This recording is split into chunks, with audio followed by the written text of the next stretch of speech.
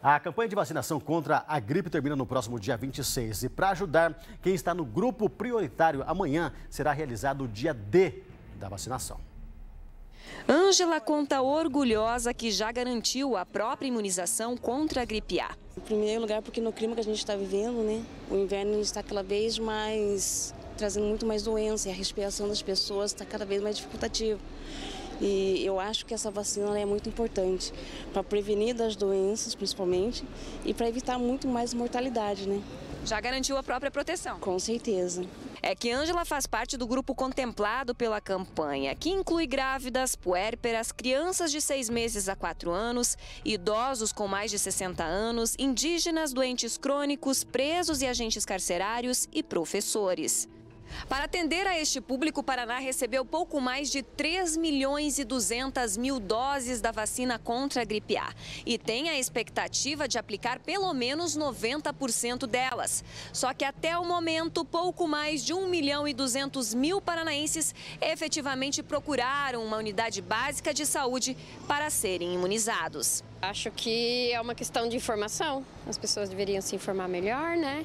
Saber o benefício que está perdendo ir atrás da vacina. Com certeza. Né? Eu, se eu pudesse, aproveitava todas, porque a minha imunidade é mais sempre, né? Para facilitar a vida de quem é contemplado pela campanha, mas ainda não está protegido, neste sábado tem dia D. A coordenadora estadual de epidemiologia explica que em todo o estado, unidades de saúde atenderão entre 8 horas da manhã e 5 horas da tarde. Alerta principalmente aos pais para que levem os filhos de 6 meses a 4 anos, 11 meses e 29 dias para serem imunizados. Este é o grupo menos protegido até agora.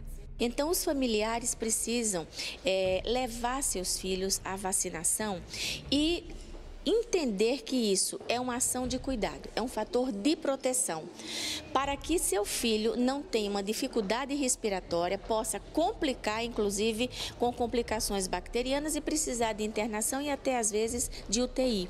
Então, nós estamos fazendo esse apelo aos familiares e pais que vacinem seus filhos. E se esses pais estiverem nesses grupos prioritários, que também se vacinem. Gisele conta que é doente crônica e por isso tem direito à vacina. Vai aproveitar o o sábado para, junto da filha, buscar imunização. Facilita bastante, facilita. Realmente, a gente tem que parar um pouquinho para se cuidar, porque senão a gente não para agora para tomar vacina, depois a gente vai ficar mais tempo no hospital se tratando. Vai aproveitar o dia D. Tem que aproveitar.